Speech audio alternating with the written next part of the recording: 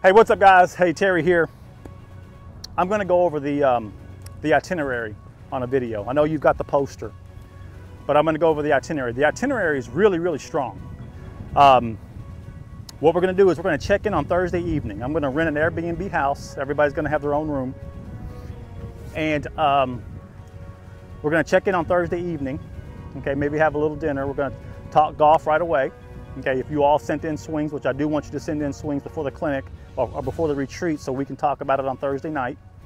So we're gonna put the, the swings up on the big screen, start talking golf.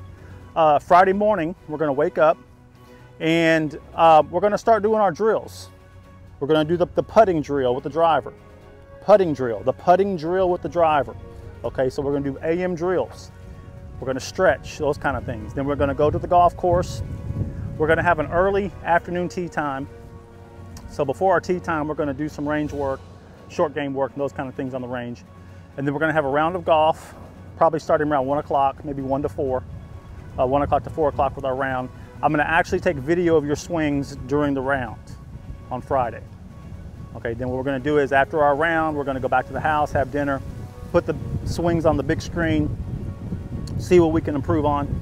Okay, make the, make the adjustments. Okay, so Saturday morning, we're gonna wake up, we're gonna do our drills, we're gonna do our drills again, and then we're all gonna work on what our corrections were on Friday. Go back to the range, short game area, irons, driver, whatever, work on our corrections that we had to make during our round.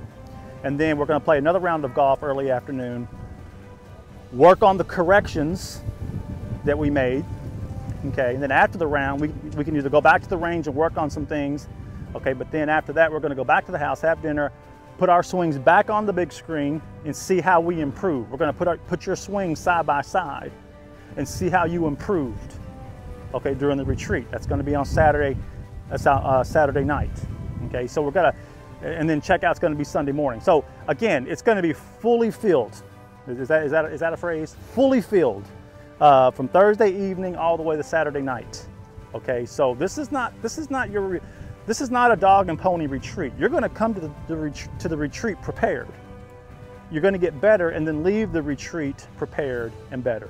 Okay, so this isn't a retreat just to see how far I can hit the ball or whatever the case is. This is about you in terms of how you get prepared, okay, to really, really take advantage of your 2-6 golf retreat. Three nights, two days, all inclusive, right here with me, locked in a house in the over, over the weekend, all golf, so we can get it done.